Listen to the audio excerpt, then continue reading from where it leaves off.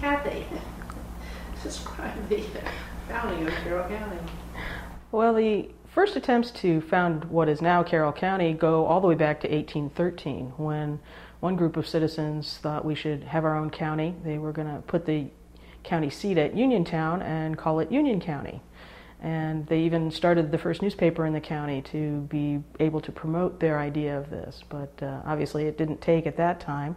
And over the next couple decades, the uh, movement got stronger until by the 1830s, there were really serious considerations of creating a new county out of the western part of Baltimore County and the eastern part of Frederick County. So uh, Colonel John Longwell moved to Westminster in 1833, started a newspaper that he called the Carrolltonian, uh, and it really was uh, very strong in promotion of the idea of a new county. But it wasn't a universally popular idea, especially along what are now our borders. Uh, the communities like Manchester and Libertytown and New Market really had stronger ties to Frederick and Baltimore than they did to Westminster. So the state legislature passed a bill that allowed for the creation of a new county, but only if the people who lived in the area that would be affected voted in favor of it. So there was a popular referendum on whether a new county should be created, and uh, Manchester area really voted in, against it. It was actually defeated there and in Libertytown and New Market. So those two towns got to remain part of Frederick County. Uh, Manchester, unfortunately for them, had to come along and be part of Carroll County. But when the bill passed and we became an official county in on January 19th, 1837, um, they really got on board and joined in the big celebrations. There were parades and bonfires and brass bands in the streets, and everybody really got on board in supporting the new county. And um, the other smaller towns, did they um, have their own celebrations, or did they pretty much all come to Westminster and celebrate? Most of the celebrations were held here in Westminster. It was the new county seat. Um, everybody wanted to support that, and like the Manchester Band came and led one of the parades, and the officials from all the towns came and joined in the celebrations. Great. And then just a little bit about Mount Airy uh, ending up being split in half. Mount Airy is now split across the county line, which uh, I know sometimes confuses people. Frederick County claims it, so does Carroll County.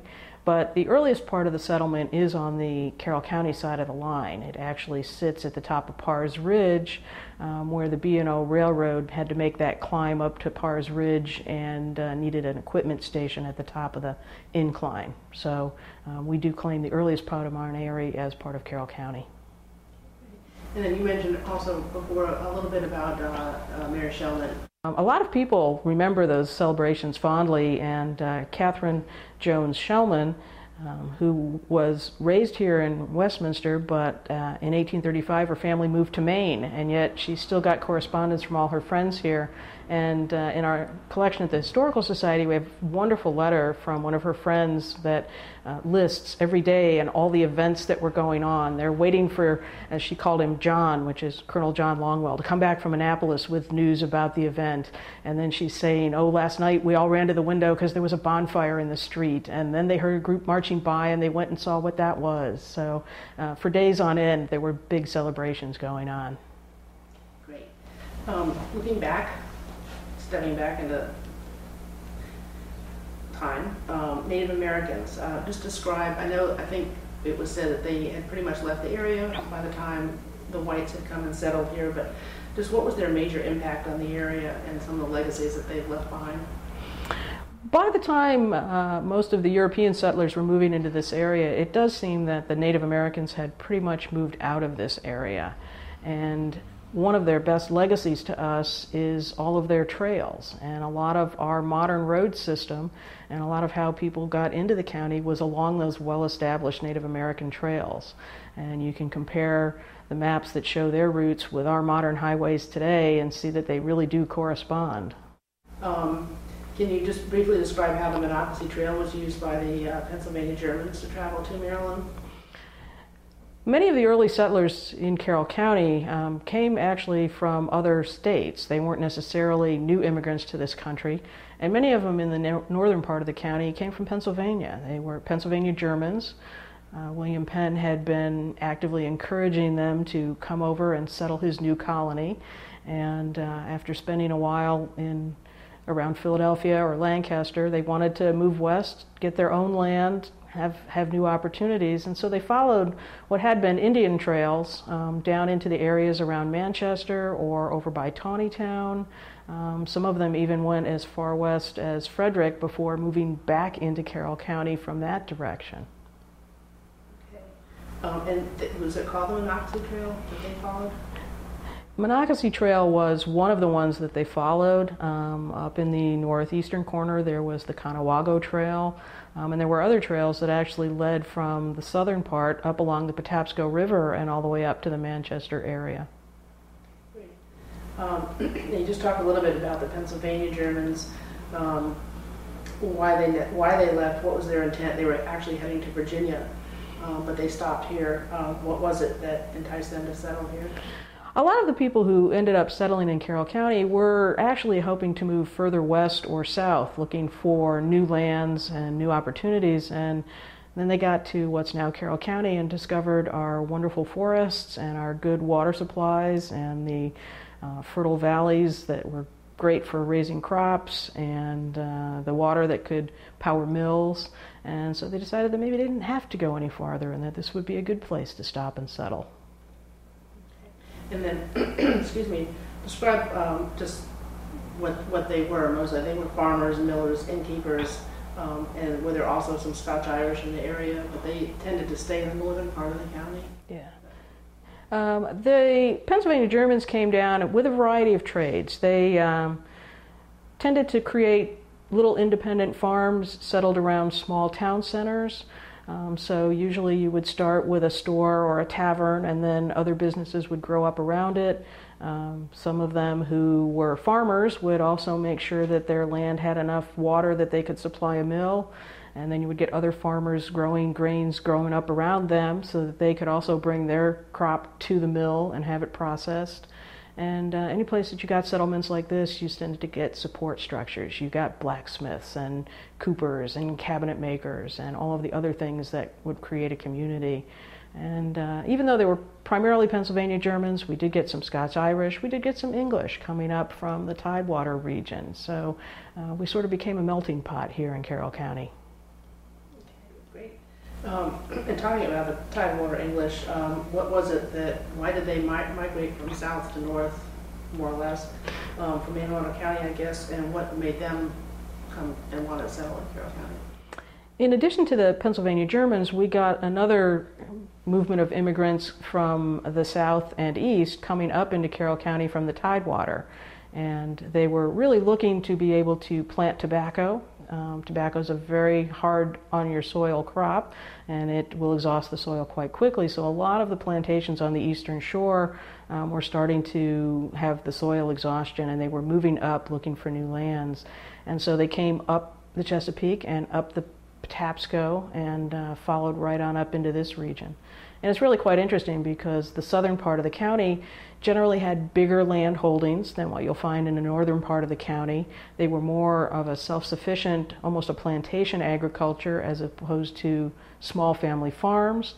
Um, and you really even see a difference in the architecture of the houses that are constructed in the two parts of the county. Great. Um, and with them and their plantation style, um, they brought indentured servants and slaves. Carroll County did have slaves. Uh, we are south of the Mason Dixon line. Maryland was a slaveholding state, and there was slavery here in Carroll County.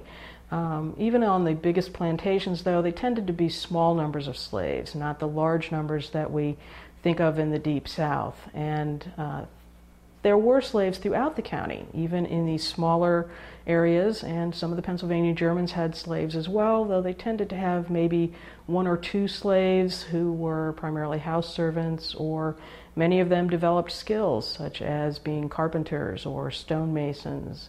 So um, it, it was a factor here, but it wasn't as important in our economy as it was in some other areas in the state. Um, and then the, the Quakers, uh, when did they arrive in the area? Um, and I'm not sure, did they first settle in the Monocacy settlement? If, that was true, but in and around the, the uh, Union Bridge area? There was a settlement of Quakers that moved into Carroll County, and they settled near Union Bridge uh, in the middle of the, se- of the uh, 18th century. And the Quaker Meeting House is still there on the outskirts of Union Bridge. And they were anti slavery. And uh, they got along quite well with their neighbors, despite the fact that some were slaveholders. But um, they always were sort of the center of the anti slavery movements in Carroll County. And what was the purpose? What, what made them want to stay in this area or, or even you know, migrate to this area? Many of them arrived for the same reasons that the other groups did, looking for new economic opportunities. Um, I don't really think there was much religious persecution that they were fleeing, but Pennsylvania was a heavily Quaker state, and so many of them also, as their family farms were exhausted or uh, families tended to be large, and often the farm was left to the oldest son, and so the younger sons were almost forced to move out and find new opportunities someplace else and uh, many of them settled here in Carroll County. Um, just uh, briefly describe that the Pike, the Pike Creek Friends Meeting House was their first, their first place of worship. The Quakers built what they called the Pipe Creek Meeting House just outside Union Bridge, a, a little stone meeting house, very simple compared to what we today think of as a church. Um, there's are much simpler meeting houses, and it actually still stands on the outskirts of Union Bridge. And people are amazed at how small that structure is, but uh, it's very nice that it has actually survived as one of the oldest religious buildings in Carroll County. And the, the um, they were among the first that the Pipe Creek area among the first to establish schools in the 1700s.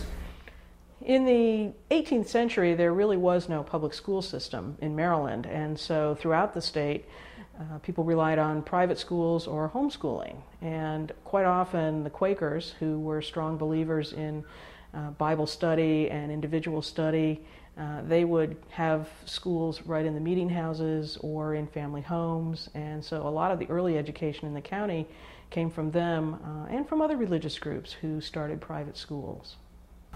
African Americans describe how they came, how they first came to the county. Did they come as slaves? Um, you've already kind of said slavery did not mirror, slavery in the county did not mirror um, what was happening on this, going on in the South. The fuzzy gray question, um, did most of them live in the southern part because of the plantation? Uh, were there any free blacks? Just kind of maybe that early history of their coming to the county. There was slavery in Carroll County, and while there were probably larger groups of slaves in the southern part of the county working on the larger farms, None of the slaveholders here in Carroll County had large numbers of slaves. They probably had a handful at best. But slavery did exist throughout the county, including among the Pennsylvania Germans. Uh, for example, Jacob Sherman, who had a house and a tavern in Westminster, he had several slaves. Uh, we know he had several who lived in the house and helped care for his grandchildren and uh, also were doing weaving. They were, had a loom house in the backyard and were doing some commercial production of yard goods. Um, and we assume they also probably did some of the work over in the tavern. But he also had three male slaves that we believe were field hands working on farm property he had in other parts of the county. Um, later, by the 19th century, some of the Shrivers up at Union Mills are slave owners. Um, so even the families that you wouldn't necessarily think of um, did have some slave owning going on uh, in their family there weren't large numbers of free African Americans in the county at that time. Um, although by the time of the Civil War, you do have some who have moved into the county. People often wonder why Carroll County was named the way it is, and they assume that perhaps uh, Charles Carroll lived here or one of the Charles Carrolls lived here. Um, but in fact, it got its name because Charles Carroll of Carrollton, uh, who was from Maryland, and everybody has fond remembrances of their American history and seeing his big signature on the uh, Declaration of Independence, uh, remember him. And he was actually the last surviving signer of the Declaration of Independence. He died in 1832 at 95 years of age, and it was shortly after that that uh, the movement to found a county really got going, and so they decided that it would be appropriate to name something in Maryland after our famous signer of the Declaration of Independence just describe the early uh, subsistence farming that lasted until about 1800? The earliest farms in the northern part of Carroll County were really small family farms. Um, they did primarily subsistence farming, enough to support their family, and maybe have enough left over to sell some of their crop to help buy the things that they couldn't barter for. And uh, quite often these were grain crops. Um, there were hundreds of mills all over Carroll County by the middle of the 19th century. And these early mills were a great way to turn your crop into something that would keep. You could take it over to the mill, they would grind it and turn it into flour. Quite often they would take some of the flour as payment. You didn't have to necessarily pay them cash to get it ground.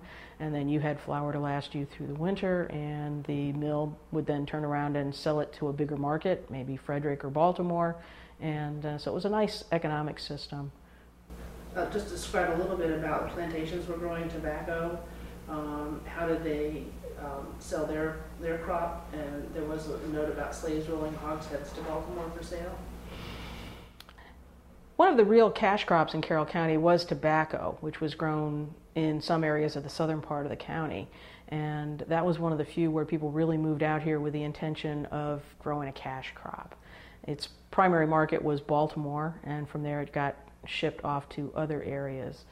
And uh, there have been stories of perhaps the slaves rolling the casks down the road to the river landings where it would be loaded on ships and then shipped down to the ports for transshipment to Europe. Many of the towns in Carroll County got established along existing roads. For example, Westminster was laid out by a man named uh, William Winchester in 1764, who laid out 45 town lots on what he described as the main road to Baltimore. Usually you would start with a tavern, and they're spaced about a day's journey apart because people would need a place to stay. And in those days, you could do 10 or 15 miles before you needed to stop for the night. So you'll find towns growing up at those intervals. Now, some of the towns in Carroll County also were established by individuals, such as Winchester, who created Westminster, but Raphael Taney laid out Town and Isaac Atlee, who laid out New Windsor. So those are almost what we would consider planned communities. They laid out the town lots and sold them off in a very orderly fashion. Um, some of the others don't appear until later. If you look in the southern part of the county, there aren't as many towns. And those two towns, primarily Sykesville and Mount Airy, actually grew up along the B&O Railroad. And that's because the railroad needed shops and support at specific intervals. And so when they create those, other industries grow up around them to support the workers for the railroad. Excellent. Um, just briefly talk about the first three buildings uh, that were built in Westminster, not necessarily right in 1837, the jail, um, uh, the almshouse, and the courthouse.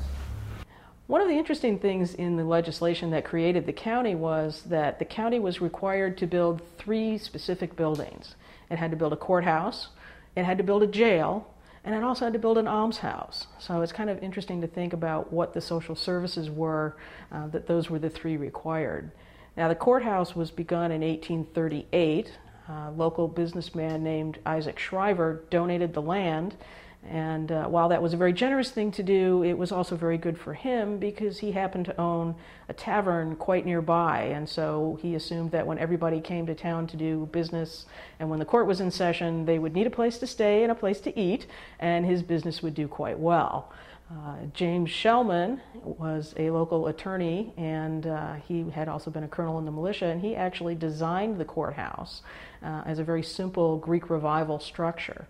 And so when the contract was let in 1838, they laid the, the cornerstone uh, for what is the courthouse that we still have today. Although it has been expanded, uh, almost immediately after it was completed, they decided to add the famous cupola, which is its most distinguishing feature. And by the 1880s, they had needed more room, so they added wings to it and it was expanded again in 1935. But we have one of the oldest courthouses in the state, and I, I believe it's probably the oldest one still in regular use. The second building they had to build was a jail, uh, and I guess if you have a courthouse, you have to have a jail. And so the old stone jail was built at around the same time as the courthouse. Uh, it looks very different today. It still stands in Westminster, but uh, it originally had a large stone wall, solid wall, that went all the way around the jail yard. Uh, and that was their way of uh, enclosing the prisoners, and also the gallows were within there. Uh, and they did do public executions in Maryland uh, up until the 20th century, and so every county had its jail yard with its uh, gallows. Now, we didn't get around to building the almshouse until a little bit later. Uh, in 1852, they constructed the building that is now the Carroll County Farm Museum, and it would house families um, and also individuals who were having hard times and couldn't support themselves. Um, some of them might be older and infirm and didn't have any family to help care for them. And it was a working farm. If you were able to work, um, you were expected to go out and work, and it fed the, the uh, as they call them, the inmates. Um, but if there was crops left over that could be sold, it helped to provide the financial support for the uh, almshouse. Um, explain why the um, there were early toll houses. Why were they necessary along the various roadways, and um, how did they determine what the travelers had to pay? The early roads uh, are not what we think of as roads. They were usually just dirt tracks that got widened by constant use by wagons and horses, and so it was really pretty difficult traveling. Now, in some places, people got permission from the state to build what they would call a turnpike, and sometimes they were just uh, improved roads that had been graded and maybe had some gravel on them. Uh, sometimes they were corduroy roads, which were logs laid next to each other to provide a, a solid surface. Uh, probably not very comfortable to ride on, but better than the mud. And if you built a turnpike, then you needed money to maintain it, so people quite often got permission to charge tolls on their roads. Um, so you'll hear about the Reisterstown Turnpike or the uh, Meadow Branch Turnpike, and these were not very long roads, but you'd find a toll, ro- toll house at each end. And usually they charged you so much for uh, how many horses you were bringing on it or the size of your wagon. And a lot of that was because of the damage that your vehicle would be doing to the road. So um, while it was nice, just like today, people have a choice of paying to take the toll road or taking the free road. Um, it was a good way to get improved roads kind of moving on to business and industry. Um, a lot of hardships and successes. Excuse me.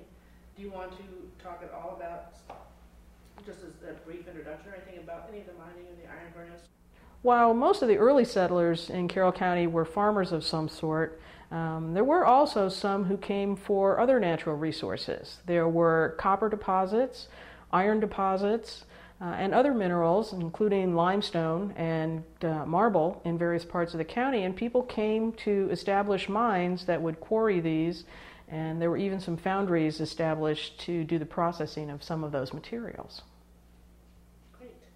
Um, just describe briefly how the counties, uh, the county's communities cooperated together to create a strong agro uh, commercial economy uh, flour and grist mills, wheat and flour exports, canneries, and then kind of an 1840 census that had corn as the leading crop.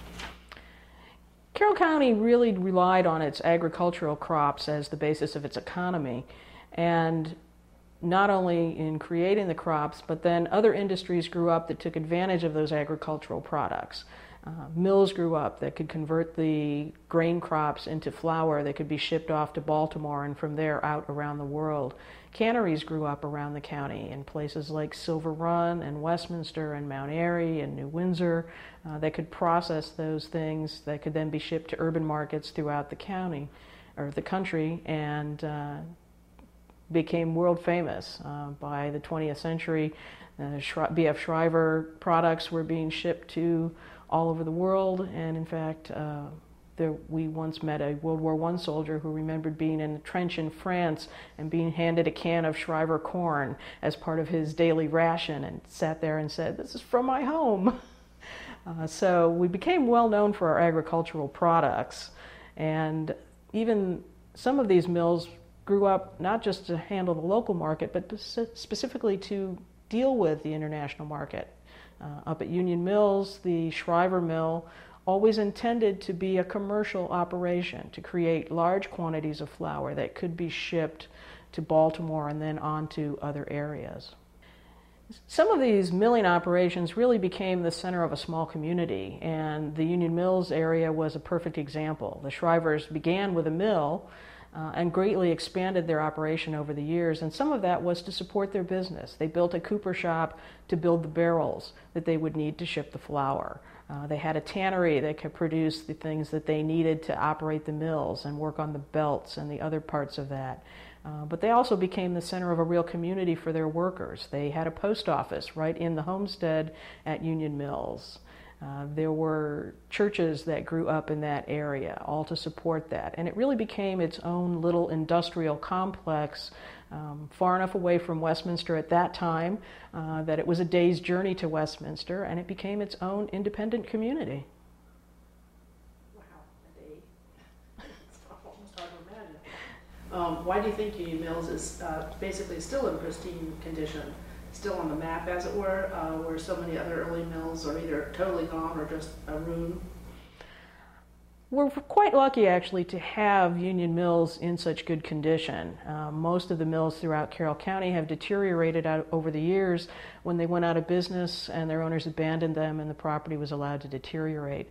Luckily, the Shriver family has taken a strong interest in Union Mills and it remained in Shriver family hands for several generations. Uh, the last people to live in the homestead uh, were well into the middle of the 20th century and took care of the mill. And they have now created a not for profit, the Union Mills Homestead Foundation, that supports the mill and makes sure it survives. And it's a, a wonderful example because there aren't any other places in Carroll County where you can see a grist mill operate, where you can really understand that early 19th century technology and how leading edge it really was. Um, going back one step, that um, I don't think I heard you say it, but uh, it was another first for Carroll County. Uh, that they were uh, the first county in the world for canned corn. Our agricultural products really did become very important, and uh, Carroll County was very proud of it. And we have a, a wonderful photograph in our collection at the Historical Society uh, showing a float that Carroll County put into the parade to celebrate the opening of the Severn River Bridge. Every county in the state sent a float. Um, our representative has a big banner on it that says Carroll County, number one in the world in production of canned corn. Um, and the float is fun because there are stacks of cans of corn on there. Uh, they also bragged about our leading production of swine. And our third product at that point was Congoleum. So we sort of covered the gamut. By that time, we did have some manufacturing. And so we're, we love that photograph. We use it quite often. Uh, our examples of swine, cream corn, and Congoleum. The National Road passed through Mount Airy. Um, was that on the Carroll County side? Carroll County did get one advantage in transportation when the National Road came through. It doesn't cover much of Carroll County, um, but it did literally put us on the map and increase our connection uh, to some of the major cities and also opened up transportation to the west, which meant that our people could move west easily and also we could ship products further west. Um, the B&O Railroad was established in 1828. Um, was 1831 the first time that the train came to Carroll County uh, to Sykesville and then went on to Parrs Ridge? And maybe include the little Tom Thumb story in that. Okay. Uh, the first railroads in Carroll County were down on the southern part of the county. When the B&O Railroad expanded beyond Baltimore on its way west, uh, it reached Carroll County in the early 1830s, and it came through what is now Sykesville and along the southern part of the county all the way to what's now Mount Airy um, where it actually had quite a challenge climbing the steep incline at Parrs Ridge. It was quite a technological feat for them uh, to develop all of the switchbacks that would allow them to climb that ridge. So they built shops at both Sykesville and Mount Airy to service the trains. And so the earliest railroads are actually down away from the county seat, down in the southern part of the county. and, and then when the railroad was established along that southern route, um, how did it affect travel on the national road and um, any other roadways? Um, and how did that affect businesses and towns that had grown up along the way? Having the B&O Railroad come through the southern part of the county was really a great asset for that area because it was much easier to ship your products out. So you tended to have growth of mills. There were paper mills, uh, agricultural mills, Some of the copper mines and iron foundries down in that part of the county now found that they could ship iron ore out much easier, and it really was a boost to their business. Um, and it also made it easier for them to get workers into this area. They could come by train, and uh, it was easier to attract people to that area in the county. One of the local, many of the local residents uh, supported the almshouse. They donated items like clothing for some of the inmates. Um, they helped take care of them when there were illnesses. And uh, one of them who did that was Mary Shellman, who was active in a lot of different events here in Carroll County. And she used to go out to the almshouse every Christmas and bring food and gifts for the inmates. Uh, she also took an interest in some of the Civil War veterans who were living there, who some of them were had not quite recovered from the war. They were ill and couldn't work. Uh, they ended up living there, and uh, she helped take care of them, took a great interest in them. Um, and actually, she bought a lot in Westminster Cemetery, and when five of them died at different times, um, she made sure that they got buried in Westminster Cemetery um, with graves marked with honors, and so that they would always be known as Civil War veterans. The Civil War years were difficult for Carroll County. Um, as we've talked about, it was a slave area, and there was also anti slavery feelings here in the county, so you did have divided loyalties.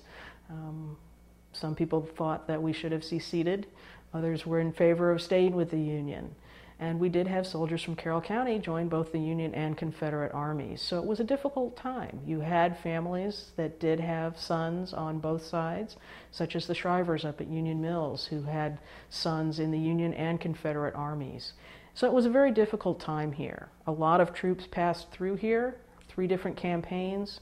1862, 1863, and 1864, we saw troops from both armies here in Carroll County and it was a very tense time. What was uh, the, the draft, or explain the draft and the exemption fever? While Lincoln's call for volunteers brought in many recruits to the Union Army, it wasn't quite as many as were needed, and unfortunately, they did begin a draft uh, to try to get more people into the Army.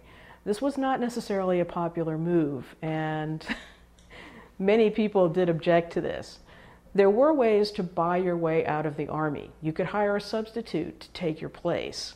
And it was seen as somewhat of a favoritism to the upper class because it was usually the uh, rich young sons of urban families who could afford to buy their way out. But there were people in Carroll County who bought their way out. And we do have in our collection some documents from a family where someone got a draft notice uh, then we have his certificate from being inducted. Then we have the receipt where he paid his exemption bounty, and then we got his discharge. So uh, it did happen here in Carroll County. It wasn't just necessarily the wealthy who were able to buy their way out of their military service. Interesting. but you can't do that today. Yeah, you can, or you could hire a substitute to take your place. And there were people who were hired as someone's substitute, and then they would desert, and then they'd go and use a different name and get hired as someone else's substitute. And they were making a pretty good living going into the army and getting back out. You know? Um, just, uh, briefly again, how um, the, the brother versus brother with William and Andrew, um, how unusual was it? Uh, just because William was a Southern sympathizer who owned no slaves, Andrew was a Northern uh, for the Union and um, actually owned a few slaves.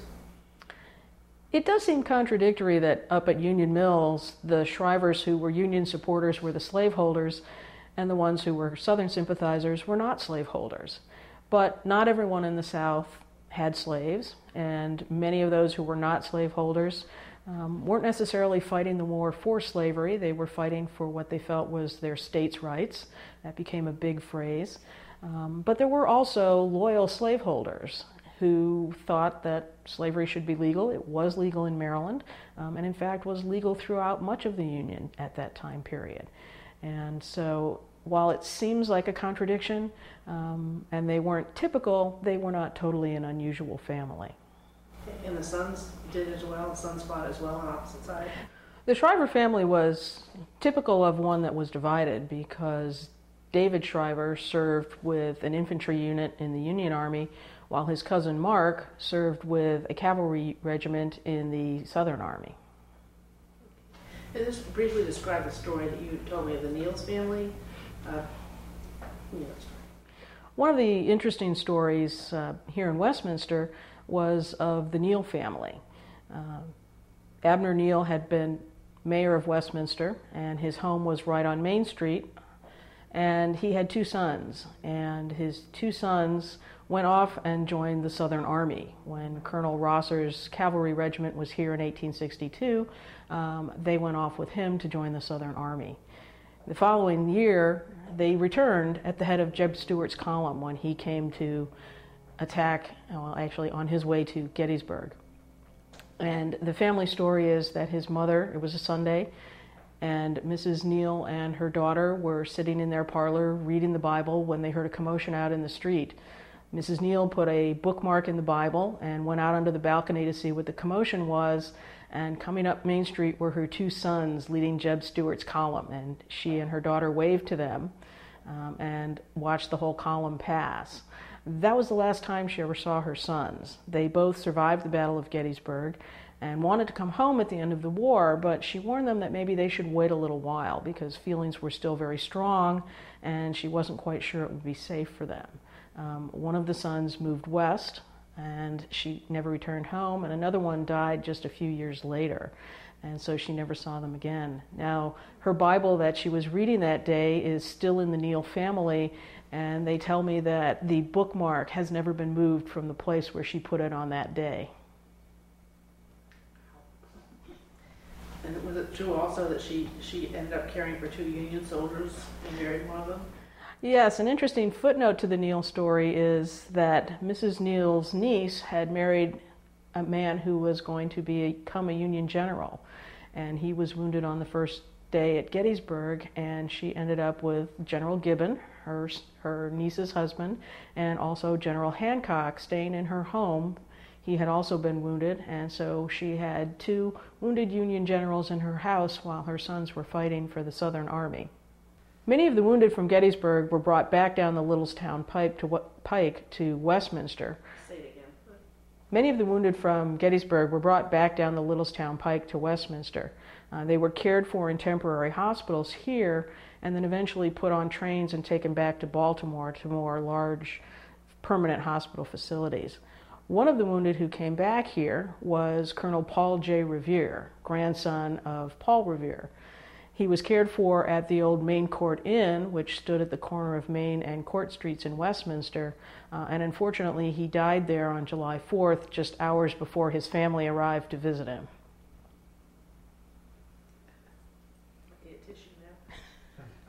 About 100 free blacks and manumitted slaves in the county were enlisted in the U.S. colored troops. Uh, did they fight here or were they sent elsewhere? A number of uh, blacks from Carroll County enlisted in what were called the U.S. colored troops. Um, there were regiments from Baltimore as well, and these units were sent further south. Quite often, they were given less than prime duties to take care of. They often were uh, building roads, handling supplies, doing support duties. Uh, but some of those regiments eventually do see combat, and uh, there were honored soldiers from Maryland. Uh, in fact, I know there was one from Baltimore who won the Congressional Medal of Honor for his service. There was a soldier from New Windsor named Simon Murdock who served with the U.S. colored troops um, and was wounded. Um, he did survive, and uh, later pictures show him very proudly standing in his GAR uniform, and you can even see the head wound that he received. Um, the owners had submitted papers to claim compensation for loss of slaves who joined the Union Army. Uh, were they ever paid? And then how were the, uh, those slaves treated when they returned? Many slave owners eventually filed with the government to get compensation for their lost property uh, in the form of their slaves who had joined the Union Army. But most of those claims didn't really go very far, and most did not receive compensation for their slaves. And how were those slaves treated when they returned? They returned to the same owner, or? After the Civil War, those slaves were free. The 13th Amendment freed them, and they came back as free men. Some people welcomed them, um, others didn't. And so I think there was probably not a universal reaction to people when they came home. But many of them were very proud of their service and did join Grand Army of the Republic posts. Um, that was the Union Veterans Organization. And in fact, the Stevens Post here in Carroll County had many African American members who joined. One of the interesting stories uh, about African Americans in Carroll County has to do with a man named Sebastian Boss Hammond. He was born a slave, and we're not quite sure who taught him, but he learned how to do stone carving. And his owner, which was very typical, would use his labor to make money. He would have boss doing stone carving for other people, and then the owner would keep the profits from that.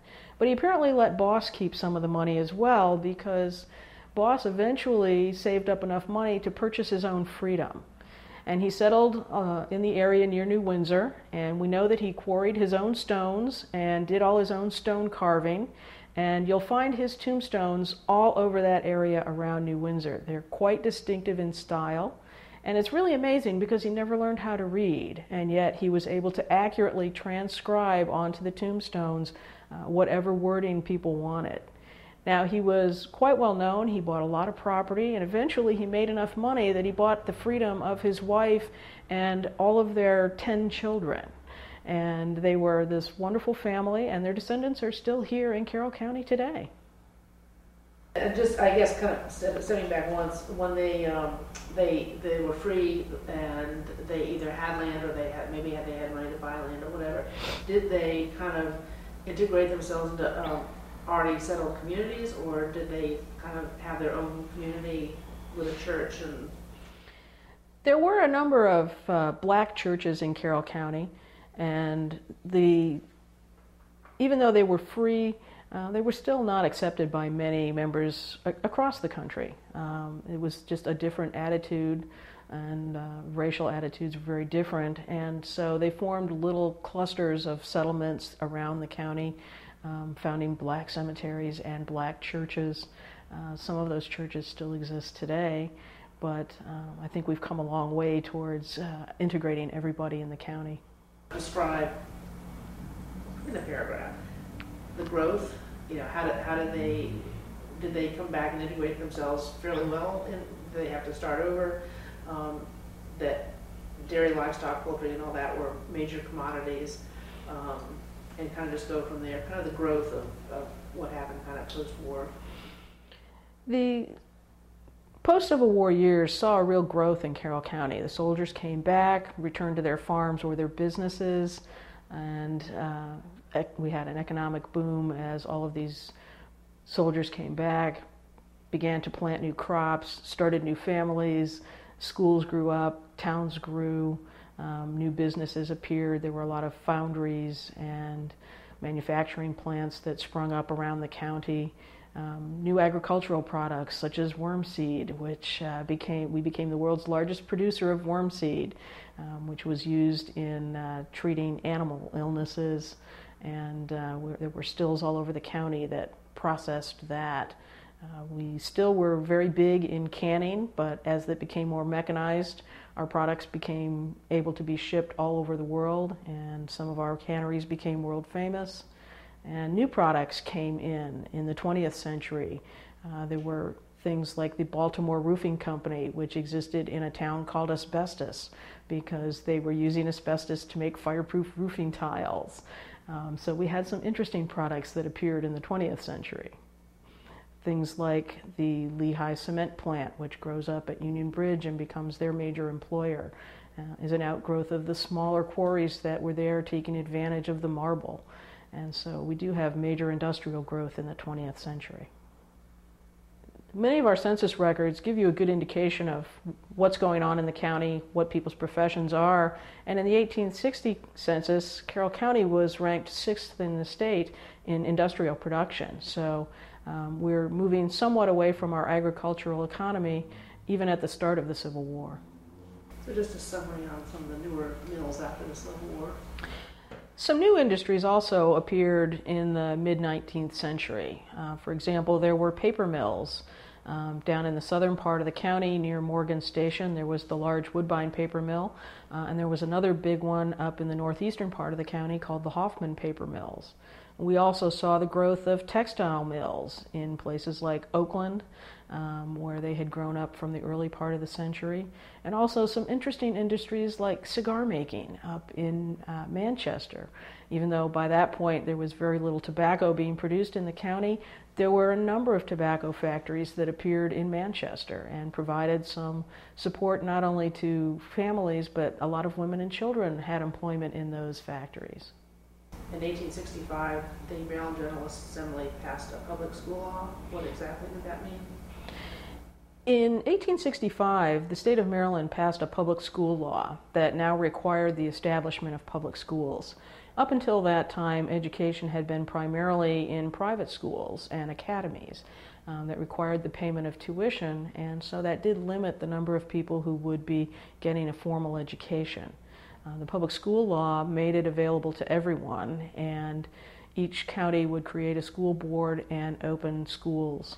Um, primarily, these were one room schoolhouses uh, around the county. Many of them look quite similar. It's a brick structure uh, with a gable roof and a bell tower so that they could call the students to class. Um, usually, one teacher, uh, an unmarried woman. If you got married, uh, you could no longer be a teacher. Uh, and uh, the students would range in age from you know five or six years old Rarely did they go up to high school age, but maybe they would stay until they were about 12 or 13 years old. So it was really a, a big advantage because now you have a much more educated population than you had before. And the early education for black children, was that mostly done in churches? In the very early years, uh, black children, if they were educated, it might be a school run by a church. Um, with the establishment of public schools, they did open schools for black students, um, but they were segregated schools, and many of them had to travel many miles to get to their school. There were a number of institutions of higher learning in Carroll County. Uh, today, everyone is familiar with McDaniel College, um, but long before it was founded as Western Maryland College, there was the Irving Institute over near Manchester. There was Calvert College, which became Blue Ridge College in New Windsor. Um, there was a college in Union Bridge. So uh, there were many institutions of higher learning that were available to Carroll County residents. Then in the 30s, the Robert Moton Elementary School. Um, just explain that one a little bit, describe that one a little bit. School segregation existed in Carroll County until well into the 20th century.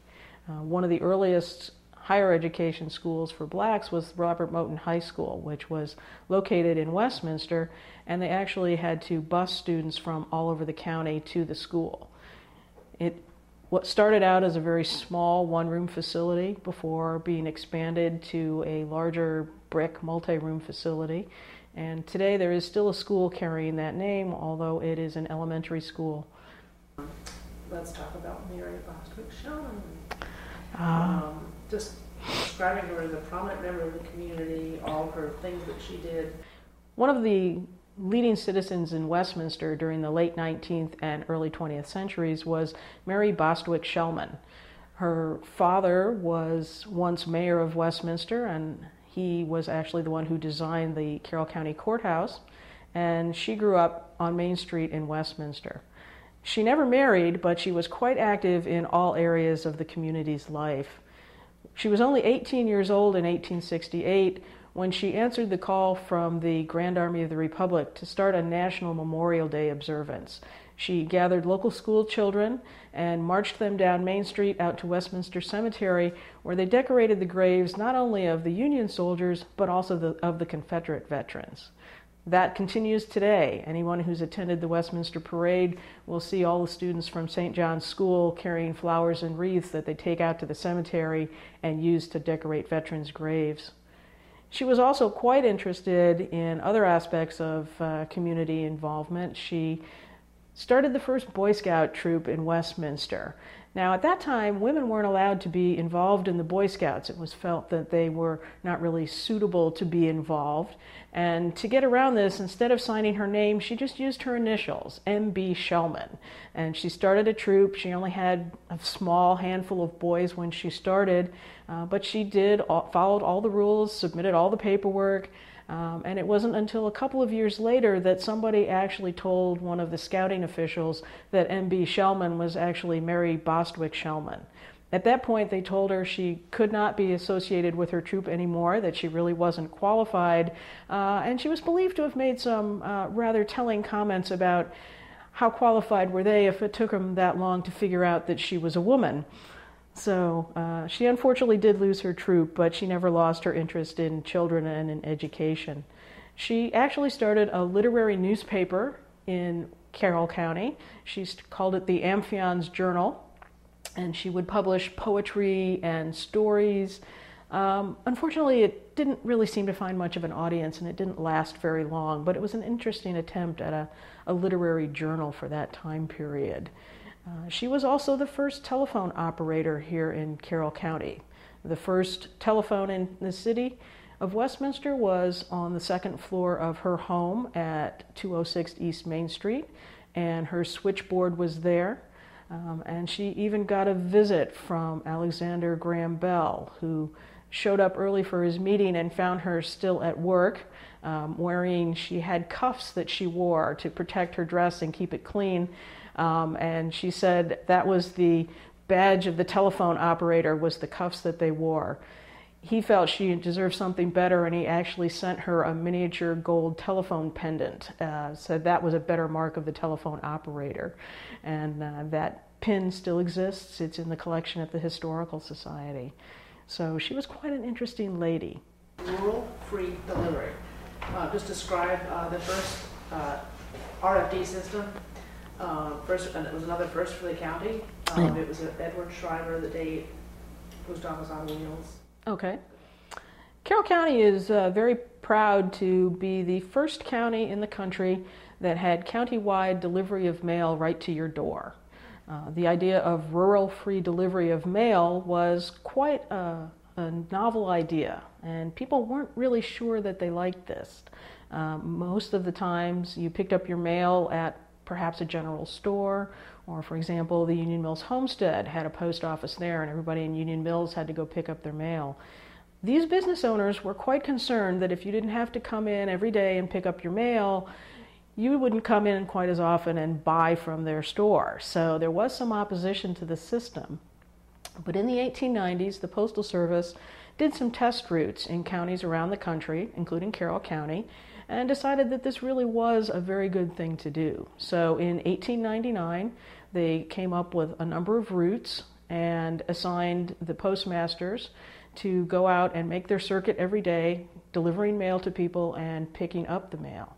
To help them on their routes, they devised what was called the Post Office on Wheels. And one of the designs for this was done by Westminster's Post Office, Edwin Shriver. Uh, it was a specially designed wagon uh, that had all the various cubby holes and compartments that you needed to sort the mail as you went along your route. And it could be pulled by one horse. And the postmasters would set out every day and cover a route of 10 to 20 miles, uh, a circuit through their system and hand out the mail to everybody. Now, eventually people realized that this was a good idea, and today I think people would be shocked at the idea that they had to go to the post office every day if they wanted their mail delivery. Great.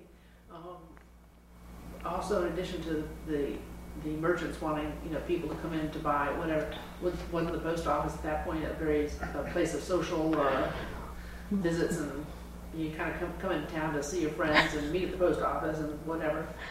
Uh, a lot of postal customers were also a little bit worried that they would miss their daily visit with their neighbors because quite often uh, people would gather at the post office, trade news, trade gossip, uh, get to see their neighbors every day, and it was a way to get out and socialize. So they were afraid that they would lose some of that with people coming to deliver their mail every day. There were also some questions about privacy. When you brought it to the postmaster, um, you knew it was going right into the mail bag and it would be secure. And there were questions about how trustworthy was the guy who's driving around in the wagon all day with your mail and nobody keeping an eye on him. So uh, it was really quite a novel idea when they came up with this decision to take the mail right from your home.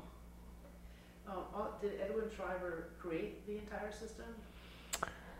No, he was involved in promoting it. Um, and Westminster's postmaster, Edwin Shriver, was quite involved in promoting the initial system and devising some of the routes for Carroll County. Um, he kept accurate records as to what some of the routes were and traced their development. Um, and he also designed one of the wagons, um, drew up the blueprints for what he called his post office on wheels. World War One. This will probably be very, very minor, but the home front. Uh, just was it World War One have an impact on the county? Loss of men, women taking over jobs, that kind of thing. There were a lot of changes that took place in Carroll County during World War One. Many of the local soldiers, the local Maryland National Guard unit, Company H, uh, was called up for national service. Uh, they started out actually serving on the Mexican border and helping to track down uh, the Mexican bandit, as they called him, Pancho Villa, uh, before they were actually called back and shipped overseas to France to finish out their service. Uh, many local women took their jobs in the factories and also did war work with the Red Cross, rolling bandages, putting together care packages, um, sending things like that over to the soldiers. Uh, knitting was very big. You could get patterns on how to knit regulation sweaters and socks to send overseas to the soldiers. Uh, and many local industries started producing things for the war effort. Uh, Shriver Cannery produced a lot of canned goods that were shipped overseas to the soldiers.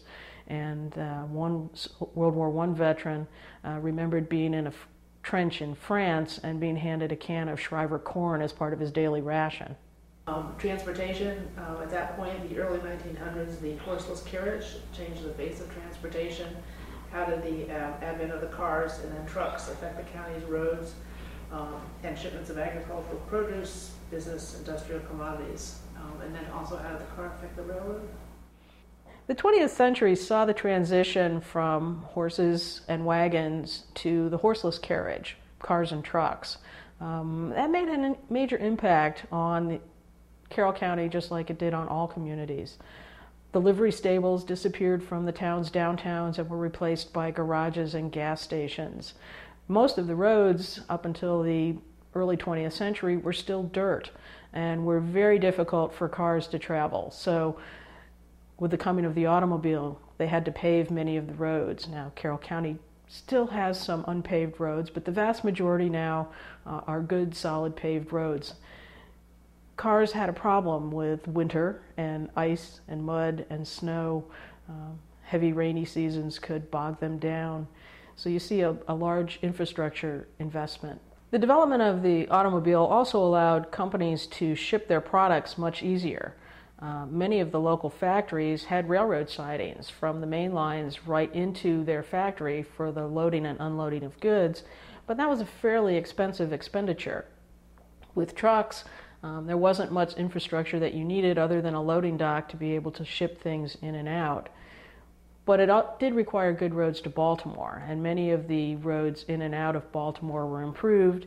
And this also allowed new people to move into the county. It was now not a full day's journey to get to Baltimore and back, and people could start to go there for entertainment, uh, shopping, go to the movies, um, but they could also work in Baltimore and live in Carroll County. And you started to develop uh, bedroom communities for Baltimore and Washington out here.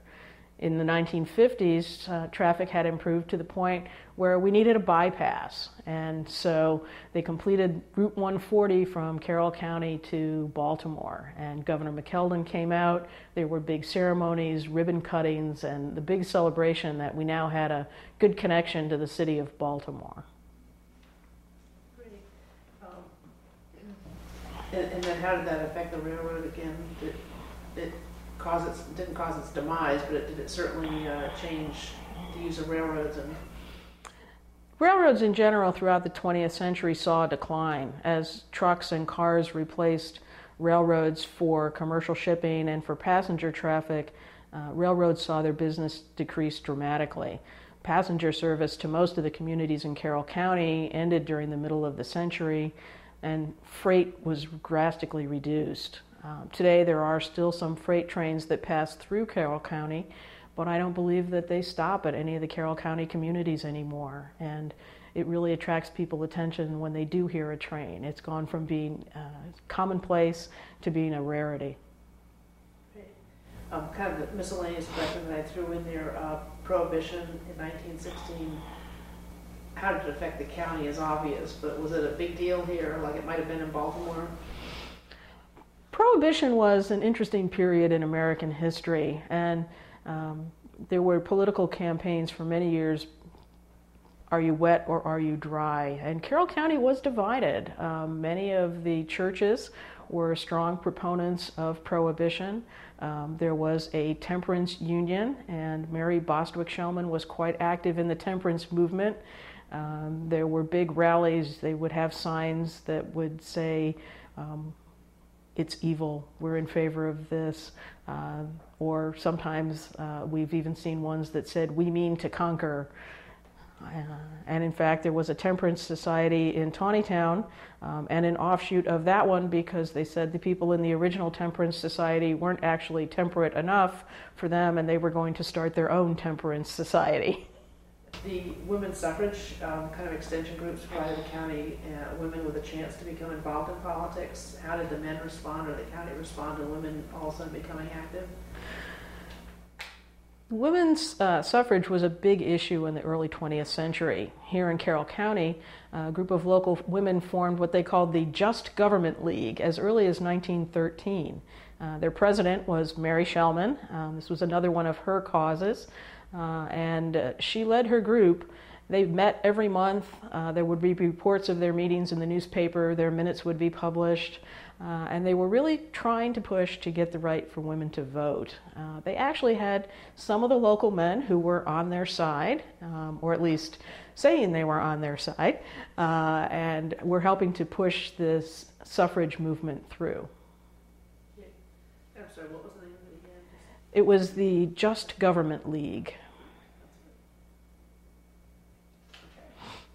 Um,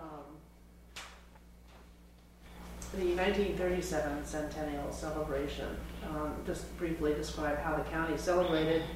Um, I don't know how important the Dor- Dorothy Elderdice was, organized the, uh, the pageant, um, the community players, um, the exposition you had mentioned at the, in the National Guard Armory, parades, et cetera, et cetera. Carroll County was, has always been quite proud of its history. And in 1937, the county threw itself just one fabulous birthday celebration uh, to celebrate its centennial. There were parades uh, with floats from businesses all over the county. There was a huge, as they called it, industrial exposition at the National Art Garmer. It's okay, just, you pick it up, but there was a huge There was a huge industrial exposition at the National Guard Armory in Westminster, and local businesses each got to create booths that showcased their products. Uh, one of the fun ones was the one from the Congoleum factory, where they uh, put Congoleum flooring down and covered the whole booth with their products, so everybody would not make a mistake as to what they made. There was a huge pageant called A Caravan of History, written by Dorothy Elderdice, uh, that covered all of the major aspects of Carroll County history. It was presented at Hoffa Field at Western Maryland College um, and had literally a cast of thousands who were all costumed to play the roles of the leading citizens of Carroll County history. Uh, I'm not quite sure who was left to watch it. There were so many people in the cast. But they just celebrated for weeks and had a wonderful time. There were band competitions and all kinds of events that went on. Uh, Okay, the Great Depression.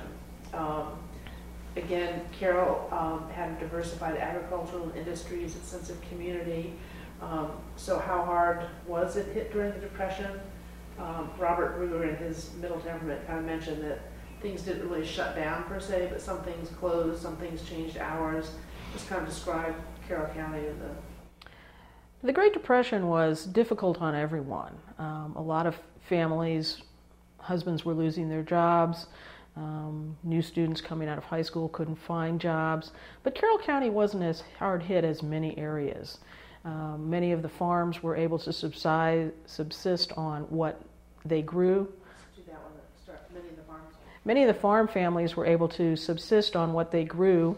Uh, they might not have had as much ready cash as they would have liked, but at least they weren't starving. Uh, many of the local factories reduced their hours, um, com- cut back on employment a little bit, but we didn't have the general huge unemployment that a lot of areas seem to have. Uh, the, the CCC took, um, thirty-two young men from the county to work. Um, county provided them with room and board and sent a small spending allowance, gave their families an additional twenty-five dollars a month. Yeah, that was part of a federal program, the Civilian Conservation Corps. Um, a number of young men in the county joined what was called the Civilian Conservation Corps. Um, that provided income for them, job training for them, and some income for their families, and created a lot of good public works. Uh, many of the men in the Civilian Conservation Corps uh, worked on projects such as the Blue Ridge Parkway, and others uh, worked on what were called WPA projects, the Work Progress Administration, which built things like the old post office on Main Street in Westminster.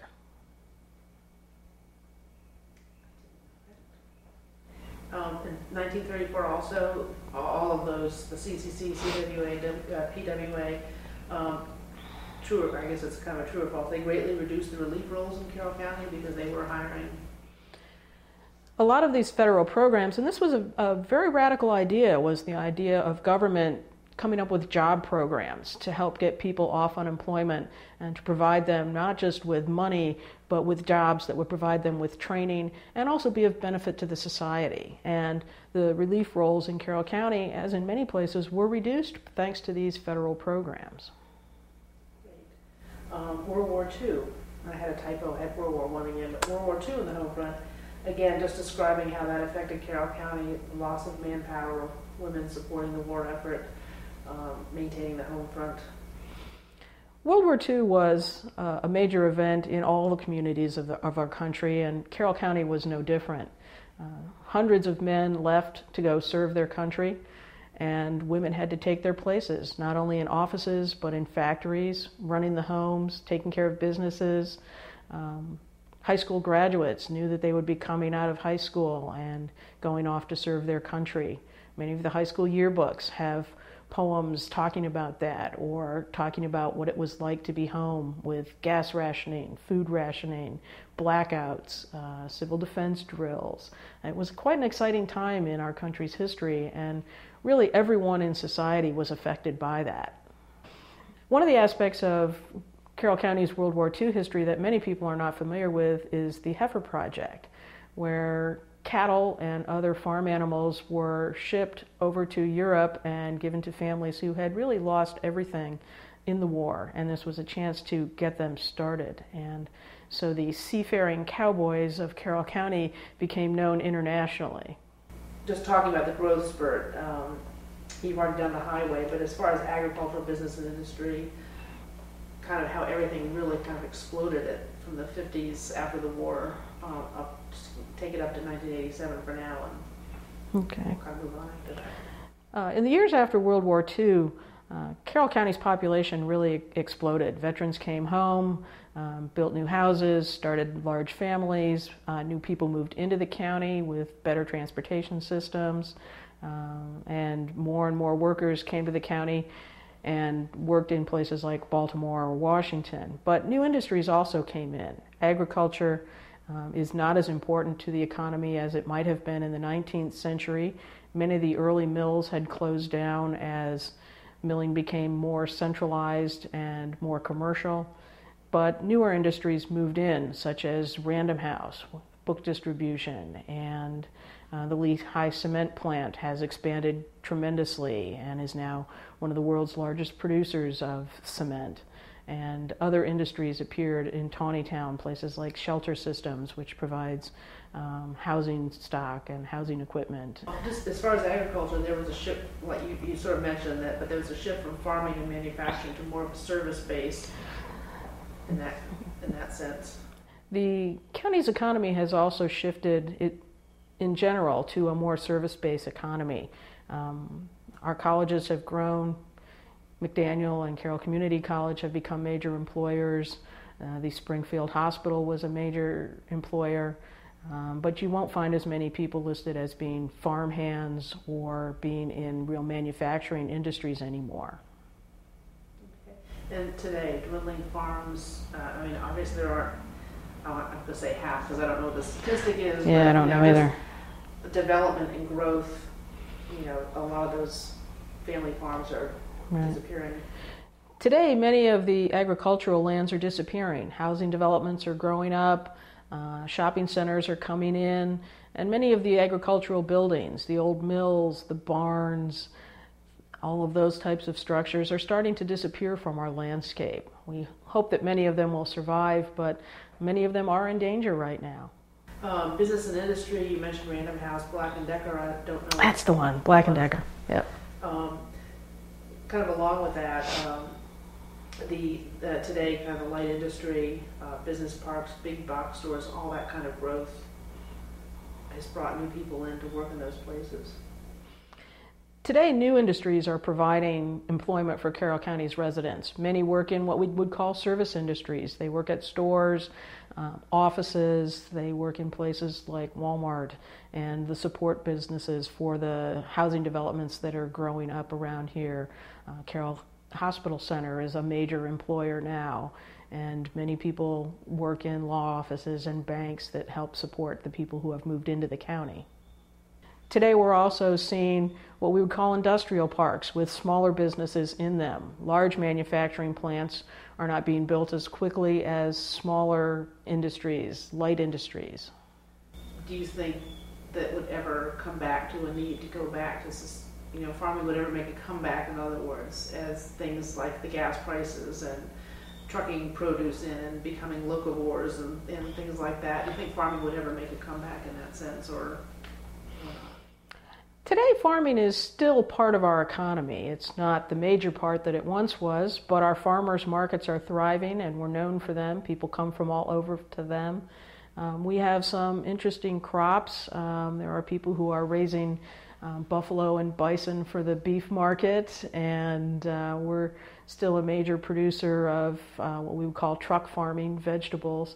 So, luckily, our agricultural heritage has not completely disappeared, and it is still holding on um, fairly strong in some areas, and uh, hopefully, it will be able to survive well into the 21st century. Um, 4-H, just along with the agriculture, 4-H has been, from whenever it started, it's still going very strong with our ag, you know, agricultural fair. Just maybe a brief description of the 4-H program. Uh, we still have a very strong 4 H program. Young people are learning to farm and to care for animals. Our county 4 H fair is a major event in the county every summer with events like the world famous cake auction that brings in thousands of dollars to support education programs. So I think the seeds are being planted for the future that we do have some young farmers coming along in Carroll County. Great. And last but not least, maybe describing the 1987 uh, bicentennial celebration. Carroll County also celebrated its 150th anniversary in 1987. Um, it wasn't quite the huge event that we had in the 1930s, uh, but I think people were very proud that their first 150 years in Carroll County had been so successful. And uh, there were many celebrations. They even produced a book with the title The First 150 Years um, so that everyone would be able to share in celebrating Carroll County's heritage. I mean, if somebody came in from out of town or something and just said, well, you know, I'm thinking of moving here, you know, what's the county like?